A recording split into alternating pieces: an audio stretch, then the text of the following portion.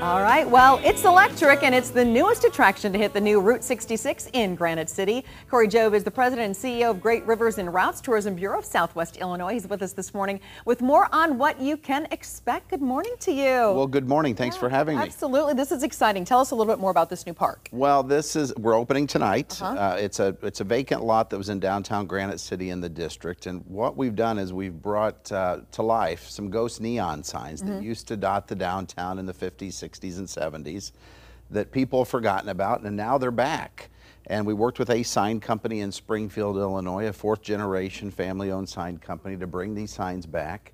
And we have uh, re, re, we've rebirthed the Washington Marquee, the Reese Drugstore, and also the um, uh, the local uh, jewelry shop. Okay. And so these are just the start, but we also partnered with St. Louis Sign and Mural Company here in St. Louis to paint these life-size murals that bookend the block. Uh, there's EV charging stations.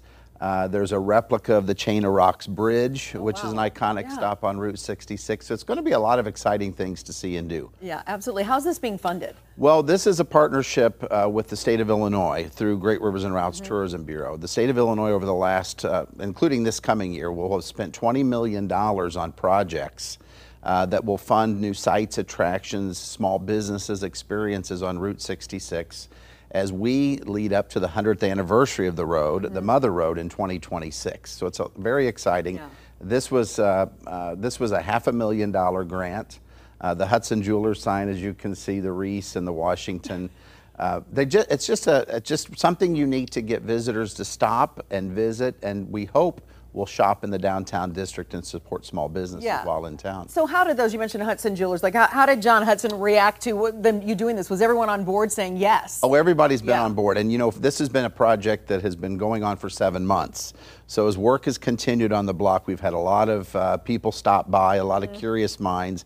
But tonight we finally light it up. And from 7 to 9 p.m.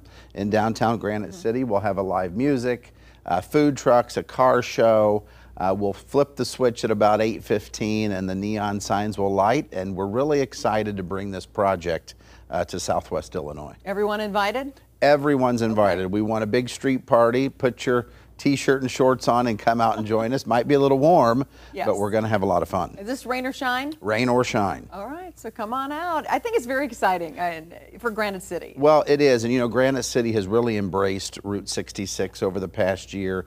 They're seeing an increase in visitors. Um, I think it's going to be great for their small business mm -hmm. community. More businesses are opening.